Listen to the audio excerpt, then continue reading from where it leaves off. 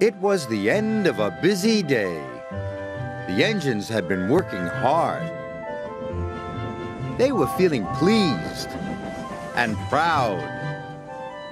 Except Henry. He was feeling ill.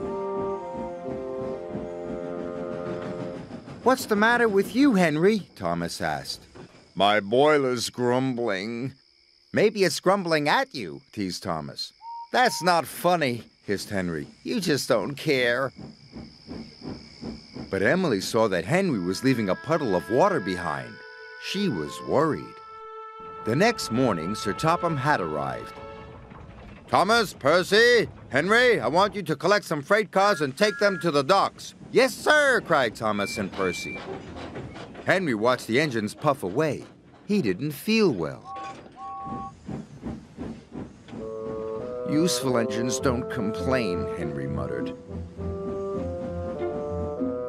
He was leaving water everywhere as he chuffed towards the coaling plant. When Emily saw this, she was more worried than ever.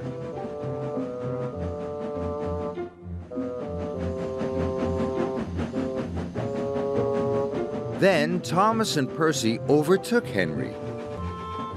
Hurry up, Henry! Percy tooted. I can't go any faster, Henry chuffed miserably. You're just being lazy, teased Thomas.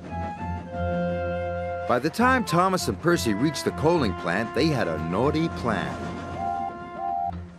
Please, sir, said Thomas, Henry wants to take more freight cars. He is bigger, added Percy. The odd manager agreed. Meanwhile, Emily was talking to Sir Topham Hatt. I'm worried about Henry. Hmm, perhaps his tubes are leaking, replied Sir Topham Hatt. You'd better check.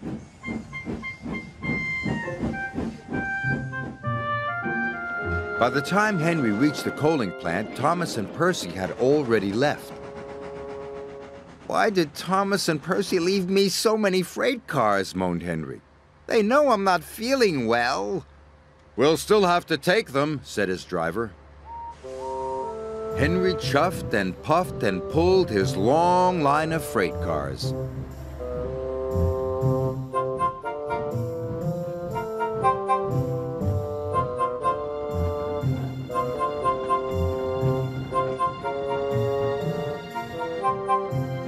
You can do it, Henry, encouraged his driver. But it was no use. Henry ground to a halt. Just then, Emily arrived. Are you all right, Henry? No, moaned Henry. I'm stuck. Henry's firemen uncoupled the heavy freight cars. Emily changed tracks and then hooked up to Henry. Oh, thank you, Emily, wished Henry.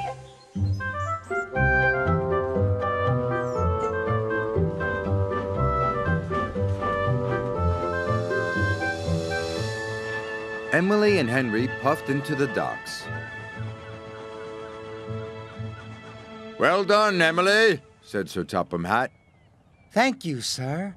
Then he spoke to Henry. You were brave, Henry. You weren't well, but you still tried to pull the heavy freight cars. Thomas and Percy felt ashamed. We're sorry, Henry, said Thomas. We didn't think you were really sick, added Percy.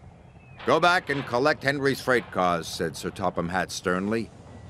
Yes, sir, whispered Thomas.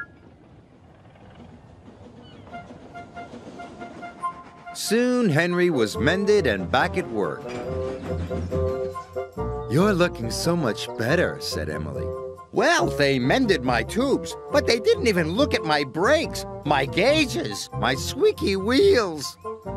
Emily smiled. All in good time, Henry. Poor Henry.